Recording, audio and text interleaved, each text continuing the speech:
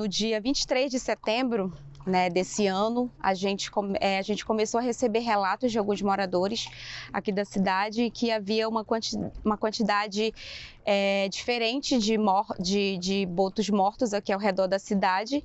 E aí o nosso grupo foi, né, se direcionou para esses locais e aí a gente constatou que havia algumas dezenas de carcaças de botos em determinados pontos aqui ao redor do Lago Tefé. Ainda agora tinha um boto ali morto. Olha onde vai outro aqui, ó. Lá está outro ali. Outro boto. É mais um aqui. A água tá demais quente, tá morrendo muito peixe.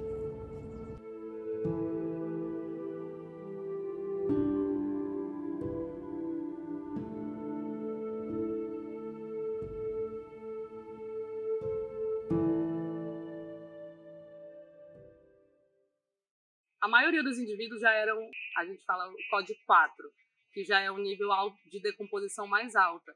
Então você não tem como inferir tanta coisa.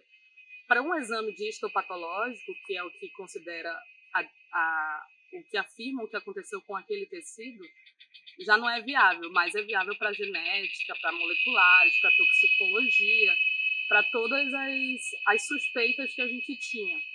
No caso de infecções virais, que poderiam ter como como patologias de que poderiam causar mortalidade em massa.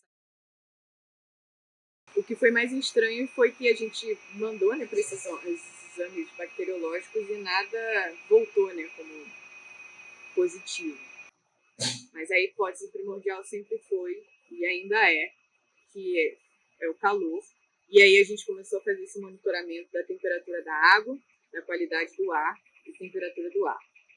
E a gente percebeu um padrão de que sempre que a água atingia 39,8, 39,9, 40 graus, no dia seguinte apareciam botos mortos. 250. Você trabalha com boto há quanto tempo? Eu trabalhei 10, 11 anos com boto. Você nunca viu isso assim? Não. Bem na época da grande mortandade, teve a grande queimada aqui na Amazônia, né? E a qualidade do ar estava péssima, péssima, péssima. E como os golfinhos de água doce né, são mamíferos, eles não respiram oxigênio da água, eles respiram oxigênio atmosférico. E como eles já têm problemas respiratórios, isso pode sim ter agravado o quadro de problemas respiratórios. Eu acho assim, como veterinária, é, quando eu entro numa necrópsia, é, vai automático. Já vou escrevendo, vou, vou vendo o que, que, é aquilo, mas até eu entrar é um baque muito grande. Eu nunca quero, eu não gostaria de lidar com a morte assim, né? Mas foi preciso, foi algo que aconteceu de maneira emergente.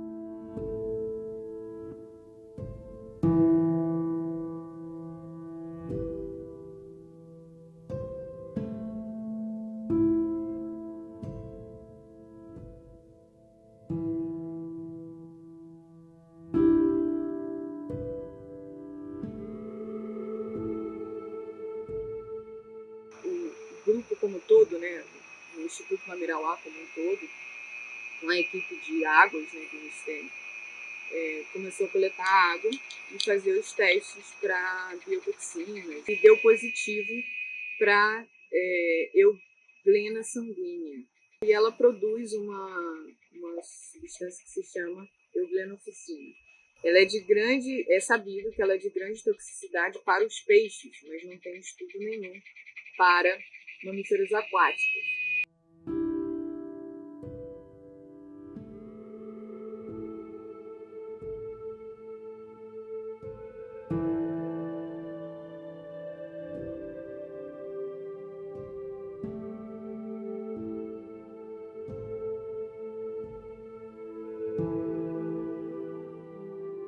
Essa emergência aconteceu em decorrência de uma de, de alterações climáticas que a gente sofre, né? Essa foi a primeira vez.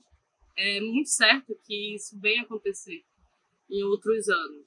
mudanças climáticas são naturais, mas elas estão sendo aumentadas, é, estão sendo reforçadas por, pela ação humana em si.